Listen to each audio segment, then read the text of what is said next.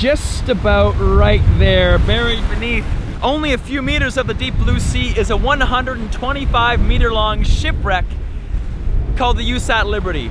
It's probably the only boat in the entire world to be sunk by a volcano, which sounds crazy. But in 1942, it was torpedoed by the Japanese. It was taking on water. They tried to haul it across Indonesia and then beached it because it wasn't gonna make it. 20 years later, a mountain exploded and the volcanic eruption knocked it back into the ocean and now it's one of the best dive sites in Indonesia. I'm in Tulamben, it's my birthday, so let's go check out the wreck.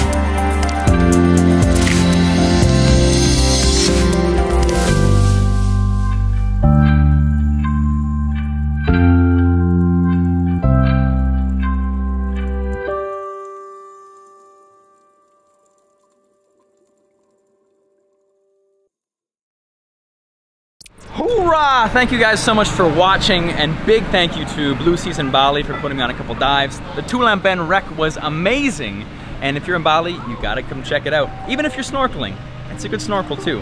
Experience silver possessions, kick the grind, and I'll see you guys next time in the water. Later.